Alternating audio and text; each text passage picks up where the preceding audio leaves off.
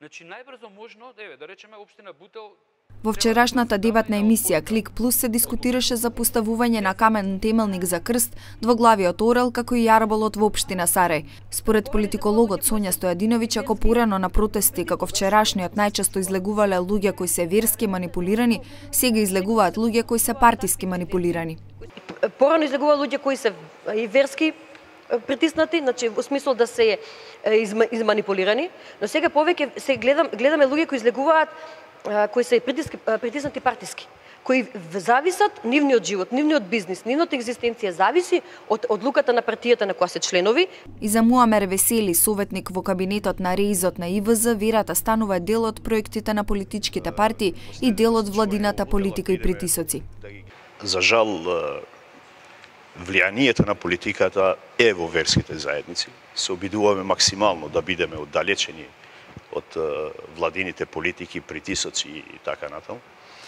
Мислам дека политиката претерува во, во оваа насока, играјќи со верски чувства и со верски символи. За универзитетскиот професор Цане Мојановски, ниту муслиманите кои го практикуваат исламот, ниту православните кои го практикуваат христијанството, не би рушеле верски објекти. Овде станува збор апсолутно за партински инженеринг, во кој што вкупната активност е насочена кон 5 јуни, кон им е потребно за хомогенизација на партиското тело, за зголемување за зголемување на на чувствата овој кои кои можат да ги надминат границите на патриотизам и влегуваат во националистички или некои други води. За Суад Мисини, политиколог и граѓански активист, именувањето на крстот како урбана опрема во општината и ваков начин на поставување е чиста процедурална злоупотреба. Кого вие убедувате дека верскиот символ е урбана опрема?